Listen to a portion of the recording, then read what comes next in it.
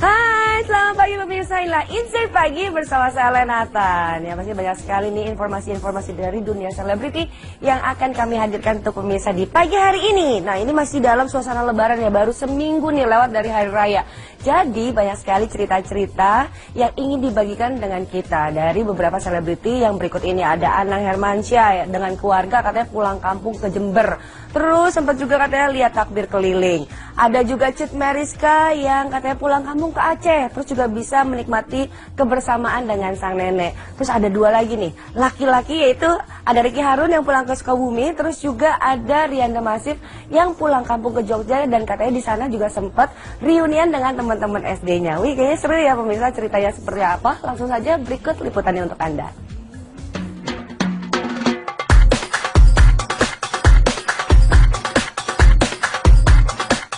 Mudik kali ini membawa keseruan tersendiri bagi sejumlah artis yang berkesempatan pulang kampung lebaran Idul Fitri.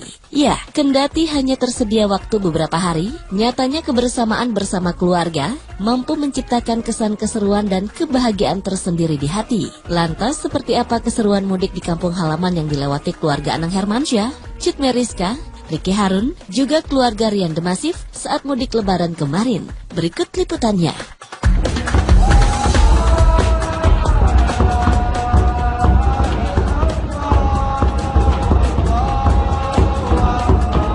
Tradisi lebaran di kampung halaman lagi-lagi dilakoni pasangan Ashanti dan Anang Hermansyah yang mudik ke kampung halamannya di Jember, Jawa Timur merayakan Idul Fitri bersama sanak saudara Anang. Untuk perjalanannya kali ini mereka naik pesawat terbang dari Jakarta menuju ke Malang, kemudian melanjutkan perjalanan ke Jember. Tepat satu hari sebelum lebaran tiba keluarga mereka sampai. Malam harinya pun mereka keliling kota menikmati kemeriahan dan keseruan takbiran keliling di kota kelahiran Anang tersebut. Oh, lagi Jember.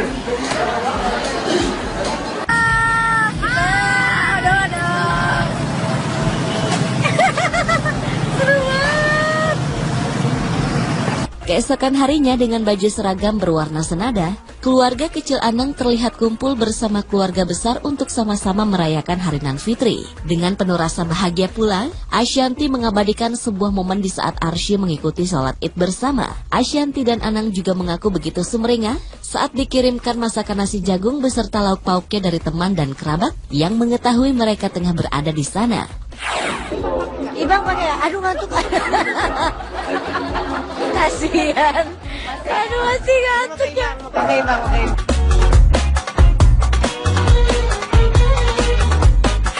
Dimasakin nasi jagung sama lauk-lauknya sama jeng hijau jember. Yeay. Memang mendukung berat.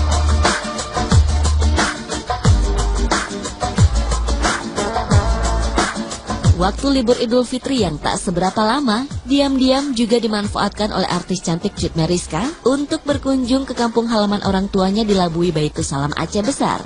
Bersama keluarga Cut Meriska mengawali hari pertama lebaran di sana. Terlihat seperti diunggah dalam akun Instagramnya, Cut berlebaran sambil menunjukkan kedekatannya dengan sang nenek. Di tengah kalimat-kalimat suci takbir, tahmid, dan tahlil yang membahana, Cut tampak bahagia memeluk salah satu seorang yang dicintainya itu.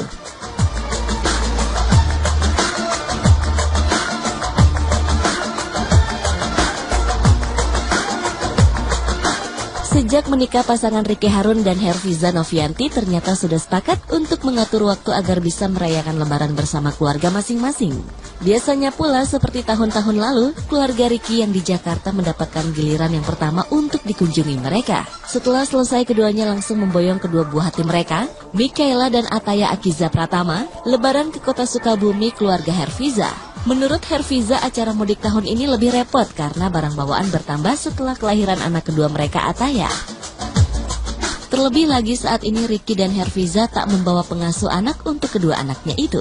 Walau cukup kewalahan, tak mengurangi kegembiraan mereka menyambut hari kemenangan Idul Fitri 1437 Hijriah.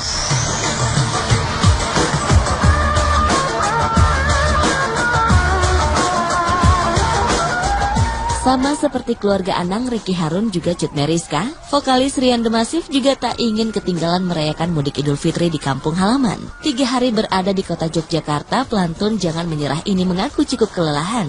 Selain kurang tidur, tradisi mengunjungi saudara-saudara di sana pun cukup menyita tenaga. Meski begitu, Rian yang mudik bersama istri dan anaknya